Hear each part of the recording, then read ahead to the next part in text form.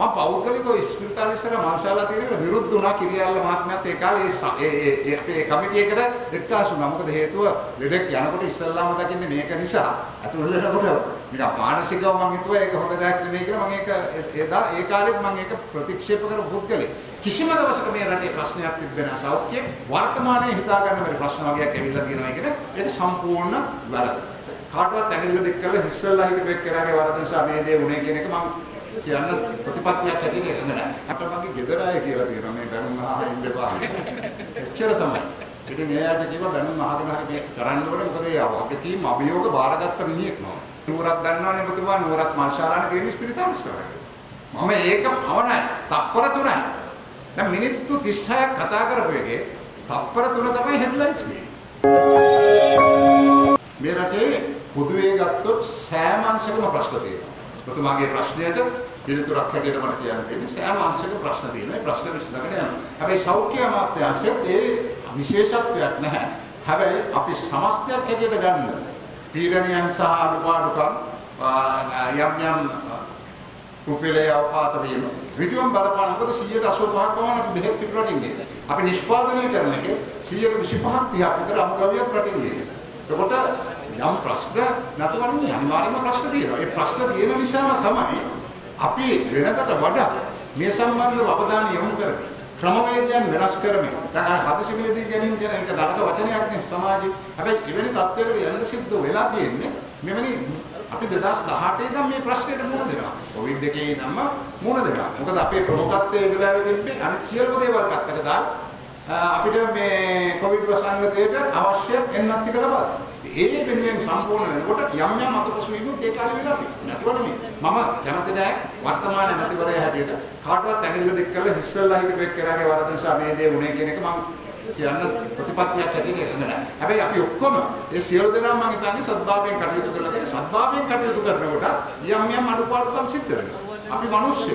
මිනිස්සු අතර යම් යම් අඩුපාඩු වෙනවා. හැබැයි සමස්තයක් හැටියට ගත්තාම මේ මොහොතේ මේ තියෙන අපහසුකම් එක්ක මේ විශාල කැපවීම එක්ක තමයි අපි මේ තත්ත්වය හරි මේන්ටේන් කරගෙන යන්නේ. අපිට දැනට විශ්වාසයක් තියෙනවා. විශේෂයෙන්ම මේ වෙනකොට සති දෙකකට සැරයක් විතර අපි ජනාධිපතිතුමත් එක්ක විශේෂ සාකච්ඡාවක් තියෙනවා. මුදල් ප්‍රශ්න මේ වෙනකොට 95ක් අපි විසඳගෙන තියෙනවා. මුදල් ප්‍රශ්න තිබ්බා. ඒක අවස්ථාවක බිලියන 40ක් පමණ අපිට ගෙවන්න තිබ්බා. එතකොට අපේ සැපයුම් කරුවන් යම් කිසි මතභාවයක් ඒ ඒ වෙනුවෙන් වැඩි වැඩි අනුකූලතාවයක් දැක්වේ නැහැ මොකද උන්ට ගන්න තියෙන මුදල් බිලියනයක් දෙක එහෙම තිබ්බේ ඒ නිසා මේ ප්‍රශ්න සියල්ල පහුගිය මාස තුන ඇතුළත අපිට විසඳ ගන්න හැකියාවක් ලැබුණා. තිබ්බ මූලික ප්‍රශ්නයට ගන්නවට සාපේක්ෂව ගන්නකොට දැන් ඊට උගක් අඩුයි හැබැයි දැන් පෙන්වන්න උත්සාහ කරන්නේ කිසිම දවසක මේ රටේ ප්‍රශ්නයක් තිබෙන්නේ නැහැ සෞඛ්‍ය වර්තමානයේ හිතා ගන්න බැරි ප්‍රශ්න වගේක් ඇවිල්ලා තියෙනවා කියන එක. සම්පූර්ණ වැරදි ඔබතුමාට ඉල්ලා අස්සෙන්ට කියලා ජනාධිපතිවරයා කියලා තියෙනවා. ඒකේ සත්‍යතාවයක් තියෙනවා. ඒ ඒ අහා තමයි මේ නිලධාරීන් 22ක් ගෙනල්ලා ඔබතුමා මාධ්‍ය සාකච්ඡාවක් කියන්නේ කියන එකත් අද සමාජ මාධ්‍ය තුල යනවා. ඒ කියන්නේ ඔබතුමාට ජනාධිපතිවරයා හෝ කිසියම් කණ්ඩායමක් විසින් නෝ තමන්ගේ තනතුරින් ඉල්ලා අස්සෙන්ට කියලා බලපෑමක් කරනවා. මට මගේ ගෙදර අය කියලා තියෙනවා මේ බැනුම් අහලා ඉන්න එපා. එච්චර තමයි. ඉතින් එයාට කිව්වා බැනුම් අහගෙන හරි මේක කරන්න ඕනේ මොකද ඒ වගකීම් අභියෝග බාරගත්ත මිනිහෙක් නෝ. ඊට වඩා ධර්ම. මේ ගෙදර මට මැනේජ් කරගන්න පුළුවන්. පිටින් නම් ඇවිල්ලා නැහැ තාම දැනුවත්. නිලධාරීන් 22 දෙනෙක් 22 22ක් ඉන්නවා මම ගණන් කරපු විදිහ හරිනම් හැබැයි අපිට ලොකු ප්‍රශ්නයක් කියලා මුතුමනි මේ සෞඛ්‍ය ලොකු ප්‍රශ්න ආපු වෙලාවේ මේ නිලධාරීන්ගේ ඇගේ අතේ ඇඟිලි ගන්න විතරයි මාධ්‍ය කතා කරන්නේ මම ඉතාලම පැහැදිලිව කියන්නේ රාජ්‍ය මාධ්‍යයක ඉඳලා අපිට බෑ නිලධාරීන් සම්මත කරන්න මේ මේ ප්‍රශ්න උත්තර වෙන්න එක හේතුවක්. මේ නිලධාරීන් රටට මාධ්‍ය තුලින් ඇත්ත නොකීම හරි පැහැදිලිව කියන්නේ. අමාත්‍යාංශයේ ලේකම්තුමාගේ ඉඳලා නිලධාරීන් සම්බන්ධ කරගන්න බෑ. මේක හදන්න මේක හැදුවේ නැත්නම් මේ තත්ත්වය තවත් උග්‍ර වෙනවා මම මේ සමස්ත මාධ්‍ය වේදීන්ම මේකට මම හිතන්නේ සාක්ෂි දාලා කිසි කෙනෙක් ගන්න බෑ ෆෝනේ කිසි කෙනෙක්ව ගන්න බෑ මාධ්‍යෙට ලේසියෙන් ප්‍රශ්නයක් ආවොත් එමුතුමනි මේක හැදුවේ නැත්නම් මේ ප්‍රශ්නේ හෙටු දෙවි මීට වැඩි උග්‍ර වෙනවා මම වැරදි නම් ඔබයි පිළිතුර දෙන්න හොඳයි. මම ඔබතුමත් එක්ක ඒ සම්බන්ධව වාද විවාද කරන්නේ නැහැ. හැබැයි ඒකට විසඳුමක් මම ඉදිරිපත් කරන්න අපේ තුන් දෙනෙක්ගේ නම් දෙන්න ඒ තුන් දෙනා ඕනෑම වෙලාවක මම හිතන්නේ මොකද හේතුව මේ සියලුම මාධ්‍යකරුවන් දැන් අපි ගත්තොත් ડોક્ટર විජේසූරිය මම එහා පැත්තේ ඉන්නේ. මෙයා එල්ආරඑච් එකේ අධ්‍යක්ෂක.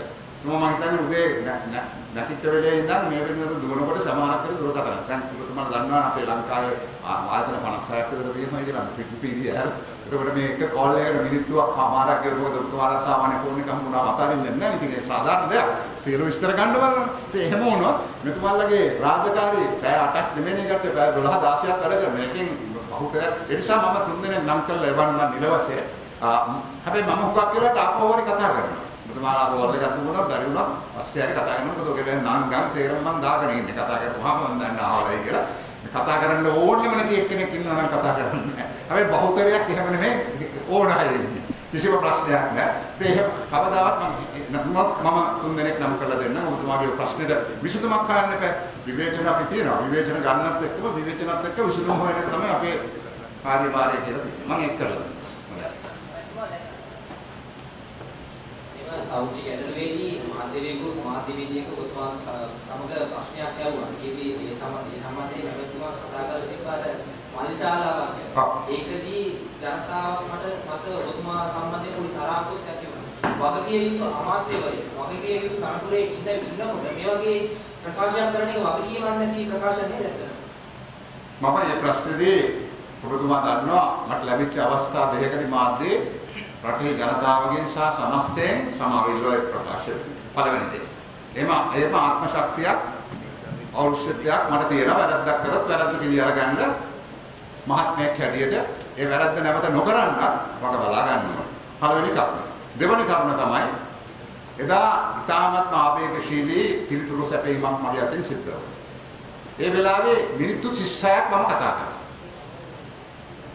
ඒ මිනිත්තු 36 කතා කරන යන අතරතුරේ අවසාන කාලදී මම කිව්වා අවාසනාවන්ත තත්ත්වය තමයි ආරෝග්‍ය ශාලාව කියන්නේ බොහෝ වෙලාවට යන 100%ක්ම එන්නේ නැහැ දරුවගේ ඉඳන් මහල්ලට යනවා. නූපද නූපදිසි දරුවගේ සිට මහල්ලට යනකම් යම් යම් අවස්ථාවලදී වා අවාසනාවන්ත තත්ත්වයන් වලට බාධා වෙනවා. කියනකොට මගේ ඉදිරියේ හිටපු මගේ මිත්‍රයා ලක්ෂ්මන් කිරියල් මහත්මයා ඒක මම හිතන්නේ මේ ස්පීකර් එකට එන්නේ නැහැ. නමුත් අර සමස්තයක් හැටියට ගත්තොත් hina වෙලා ඉඳන් කිව්වා ඉතින් නුවරක් දන්නවනේ ඔබතුමා නුවරත් මල්ශාලානේ තියෙන ස්පිරිතාලස්සර. මම ඒක පවණයි. තප්පර තුනයි. දැන් මිනිත්තු 36ක් කතා කරපු එකේ තප්පර තුන තමයි හෙඩ්ලයින්ස් කියන්නේ. දැන් එතෙන්දී මම ඉඳන් කිය හරි ඔබතුමා කියන එකත් ඇත්ත ඉතින් මාෂාල්ලා තියෙනවා තමයි ස්පිරිතාල ඉස්සර. මම පෞද්ගලිකව ස්පිරිතාල ඉස්සර මාෂාල්ලා තියෙනකට විරුද්ධ වුණා කිරියල්ල මහත්මයාත් ඒ කාලේ ඒ ඒ අපේ කමිටි එකට එක්කාසු වුණා. මොකද හේතුව ලෙඩක් යනකොට ඉස්සල්ලාම දකින්නේ මේක නිසා. අතුල්ලනකොට නිකන් මානසිකව මම හිතුවා ඒක හොඳ දෙයක් නෙමෙයි කියලා මම ඒක එදා ඒ කාලෙත් මම ඒක ප්‍රතික්ෂේප කරපු පුද්ගලෙක්.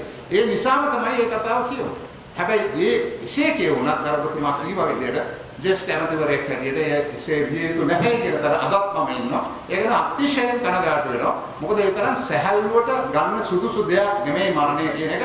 වයස් වෙලා මොන හේතුවක් නිසා වුවත් එය ඉතා සංවේදී කරනවා. ඉතින් බොහොම ස්තුතියි ඔබතුමාගේ ප්‍රශ්නය. අමාත්‍යතුමා දැන් මේ සත්‍ය මම මේ ප්‍රශ්නේදී ඔබතුමා දන්නවා මට ලැබිච්ච අවස්ථා දෙකකදී මාධ්‍යයේ රටේ ජනතාවගෙන් සහ සමස්තයෙන් සමාවිල්ලෝ ප්‍රකාශ පළවෙනි දේ. එම එම ආත්ම ශක්තියක් ඖෂධයක් මට තියෙනවා වැරද්දක් කරොත් වැරද්ද පිළි අරගන්න මහත්මයෙක් හැටියට ඒ වැරද්ද නැවත නොකරන්න වග බලා ගන්න ඕන. පළවෙනි කරුණ. දෙවෙනි කරුණ තමයි එදා ඉතාමත්ම ආවේගශීලී පිළිතුරු සැපීමක් මගේ අතින් සිද්ධ වුණා. ඒ වෙලාවේ මිනිත්තු 36ක් මම කතා කරා. ඒ මිනිත්තු 36 කතා කරන යන අතරතුරේ අවසාන කාලදී මම කිව්වා අවාසනාවන්ත තත්ත්වය තමයි ආරෝග්‍ය ශාලාව කියන්නේ බොහෝ වෙලාවට යන 100%ක්ම එන්නේ නැහැ දරුවගේ ඉඳන් මහල්ලට යනවා. නූපද නූපදිසි දරුවගේ සිට මහල්ලට යනකම් යම් යම් අවස්ථාවලදී වා ආසනාවන්ත තත්ත්වයන් වලට බාධා වෙනවා. කියනකොට මගේ ඉදිරියේ හිටපු මගේ මිත්‍රයා ලක්ෂ්මන් කිරියල් මහත්මයා ඒක මම හිතන්නේ මේ ස්පීකර් එකට එන්නේ නැහැ. නමුත් අර සමස්තයක් හැටියට ගත්තොත් hina වෙලා ඉඳන් කිව්වා ඉතින් නුවරක් දන්නවනේ ඔබතුමා නුවරත් මල්ශාලානේ තියෙන ස්පිරිතාලස්සර. මම ඒක පවණයි. තප්පර තුනයි. දැන් මිනිත්තු 36ක් කතා කරපු එකේ තප්පර තුන තමයි හෙඩ්ලයින්ස් කියන්නේ. දැන් එතෙන්දී මම දැන් කිය හරි ඔබතුමා කියන එකත් ඇත්ත. ඉතින් මාෂාල්ලා තියෙනවා තමයි ස්පිරිතාල ඉස්සර. මම පෞද්ගලිකව ස්පිරිතාල ඉස්සර මාෂාල්ලා තියෙන එකට විරුද්ධ වුණා කිරියල්ල මහත්මයාත් ඒ කාලේ ඒ ඒ අපේ කමිටු එකට එක්කාසු වුණා. මොකද හේතුව ලෙඩක් යනකොට ඉස්සල්ලාම දකින්නේ මේක නිසා. අතුල්ලනකොට නිකන් මානසිකව මම හිතුවා ඒක හොඳ දෙයක් නෙමෙයි කියලා මම ඒක එදා ඒ කාලෙත් මම ඒක ප්‍රතික්ෂේප කරපු පුද්ගලෙක්. ඒ නිසාම තමයි මේ කතාව කියුනේ. හැබැයි ඒ එසේ කියුණත් අර ඔබතුමා කීවා විදිහට ජෙස්ට් ඇමතිවරයෙක් හැටියට එසේ විය යුතු නැහැ කියන තර අදත් මම ඉන්නවා. ඒක න අතිශයින් කනගාටු වෙනවා. මොකද ඒ තරම් සැහැල්ලුවට ගන්න සුදුසු දෙයක් නෙමෙයි මරණය කියන එක. වයස් වෙලා මොන හේතුවක් නිසා වුවත් එය ඉතා සංවේදී කරනවා. ඉතින් බොහොම ස්තුතියි ඔබතුමාගේ ප්‍රශ්නයට. අමාත්‍යතුමා දැන් මේ සත්‍ය